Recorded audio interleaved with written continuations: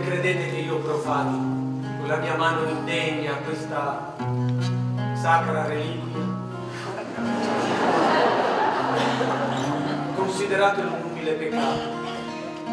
Queste labbra da timido pellegrino proveranno ad addolcire il mio tocco nude con un tenero bacio. Ale Franz come Romeo e Giulietta. La coppia comica ha infatti portato sul palco del Teatro Petrarca una rilettura originale di uno dei capolavori di William Shakespeare.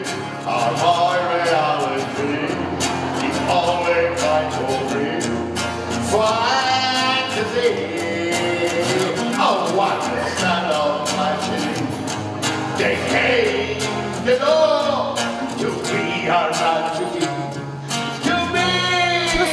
la stagione teatrale voluta dalla Fondazione Guido d'Arezzo assieme alla Fondazione Toscana Spettacolo Ollus e al Comune Aretino. Un Romeo e Giulietta molto, molto fedele all'originale, soprattutto perché eh, si recita in stile elisabettiano, quindi solo uomini, e eh, questa cosa è, è la cosa che ovviamente eh, grida alla risata perché comunque vedere sempre degli uomini vestiti da donna come era nel periodo elisabettiano, ripeto, è sempre divertente, quindi è uno spettacolo nello spettacolo perché comunque è una compagnia di attori disastrati, di attori inadeguati sia per sesso che per età, che per caratteristiche loro, per difetti e pregi, che però alla fine per grande amore del teatro riescono a raccontare Romeo e Giulietta, la vera storia.